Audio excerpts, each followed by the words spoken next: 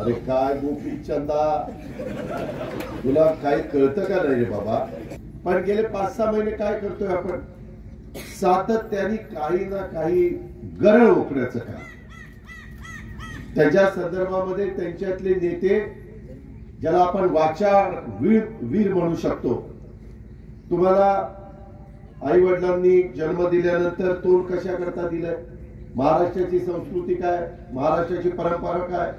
यशवंतराव चव्हाण वसंतदादा वसंतराव नाईक शरदराव पवार यांनी काय आपल्याला शिकवलेलं आहे? आपण कसं वागलं पाहिजे कसं बोललं पाहिजे? आज महिलांचा पण त्या ठिकाणी मध्ये अब्दुल सत्तारनी तिथं गरळ ओकली. तुम्ही मंत्री आहात बाबा. राज्याचे मंत्री आहेत. तुम्ही काय बोलताय? कुणाबद्दल बोलताय?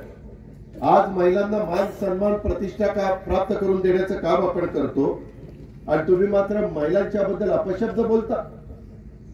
त्याच्याबद्दल शिवाजी महाराजांच्या बद्दल काय यांना काही इतिहास माहीत नाही काही बरळतात आता आपल्याला सगळ्यांना माहिती आहे की पुणे जिल्ह्यात शिवनेरीला जुन्नर तालुक्यामध्ये महाराजांचा जन्म झाला.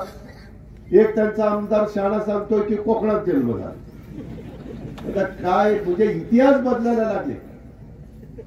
डॉक्टर अमोल कोल्हेंनी त्याच्याबद्दल बोलले आम्ही लोकांनी बोललो. तुम्ही इतिहास का बदलता? युगपुरुष छत्रपती शिवाजी महाराज आमचं सगळ्यांचं दैवत आहे.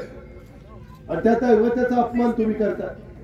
कोश्यारी साहेब तर राज्यपाल आहे तरी मध्ये म्हणले सावित्रीबाई फुले आणि महात्मा फुलेंच्या बद्दल लहान असताना यांचं लग्न झालं काय झालं? अरे तुम्हाला काय करायचंय? त्यांनी मुलींना शिकवण्याच्या करता पहिली शाळा काढली आणि तुम्ही त्या दोन महापुरुषांच्या बद्दल महिलांच्या बद्दल तुम्ही बोलता?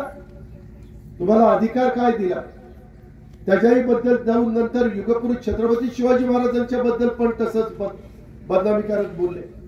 अहो आपण राज्यपाल आहात. तुम्हाला जमत नसेल तर जावा. तुमच्या तुमच्या राज्यात पण आमची का बदनामी करताय? महाराष्ट्र खपून घेणार नाही. उद्याच्या सतरा तारखेला आम्ही सगळ्यांनी विरोधी पक्षांनी सर्वांनी मिळून महामोर्चा तिथं काढलेला आहे मुंबईमध्ये.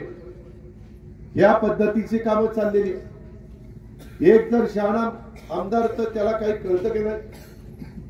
अफजल खानचा कोथळा बाहेर काढला शिवाजी महाराज. आता तो काय म्हणतो शिवाजी महाराजांचा अफजल खान काय गोपीचंद पडळकर. अरे काय गोपीचंदा? तुला काही कळतं का नाही रे बाबा? आमच्या बारामतीकरांनी तर तुझं डिपॉझिट जप्त केलं तुला पाठवलं. पण तरी भाजपने बहुमताच्या जोरावर तुम्हाला आमदार केलं.